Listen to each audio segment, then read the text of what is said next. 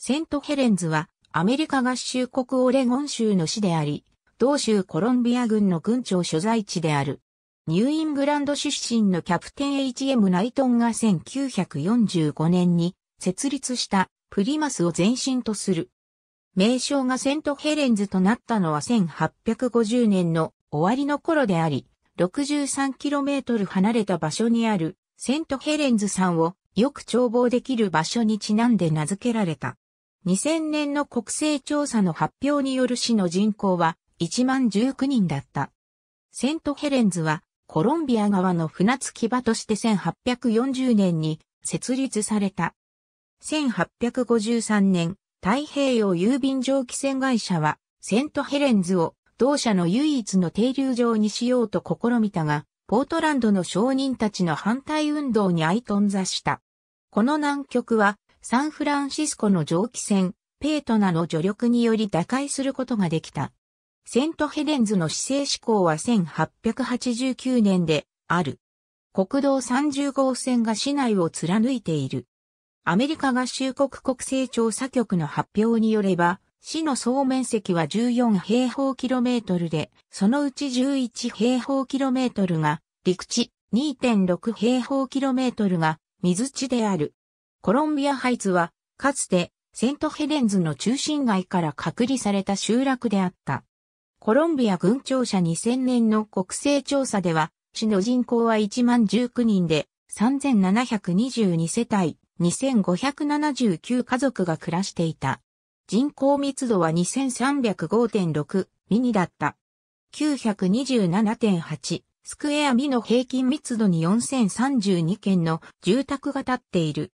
人種構成は白人92.74%、アジア系0.63%、アフリカンアメリカン0.34%、先住民1.68%、太平洋諸島系0.15%、その他の人種1.35%、及び根血3.11%である。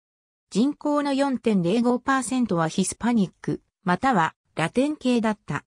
先祖構成はドイツ系21.5%、イングランド系10.9%、アイルランド系9.5%、アメリカ系9.3%である。3722世帯のうち39.3%が18歳未満の子供と一緒に生活しており、51.5%は夫婦で生活している。12.6%は未婚の女性、または家父が世帯主であり、30.7%は結婚していない。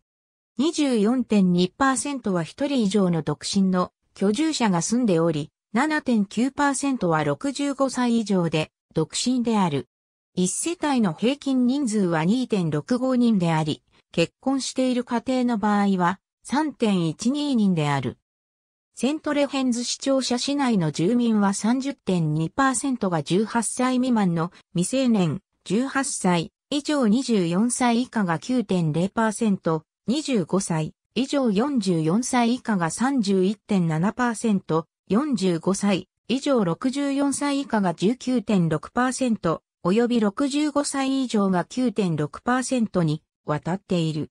中央値年齢は32歳である。女性100人ごとに対して男性は98.9人である。18歳以上の女性100人ごとに対して男性は96.2人である。この都市の世帯ごとの平均的な収入は4648米ドルであり、家族ごとの平均的な収入は45548米ドルである。男性は39375米ドルに、対して女性は26725米ドルの平均的な収入がある。この地域の一人当たりの収入は17,237米ドルである。人口の11.9%及び家族の8.7%は貧困線以下である。全人口のうち18歳未満の16.5%及び65歳以上の4.6%は貧困線以下の生活を送っている。セントヘレンズ氏は多くの映画のセットとして用いられてきた。著名な例としてハロウィーンタウン、ステファニー・マイヤーの小説、トワイライトがある。市内の公立学校は、セントヘレンズ公立学区が運営する。セントレヘンズの週刊誌に1881年創刊のザクロニクルがある。ありがとうございます。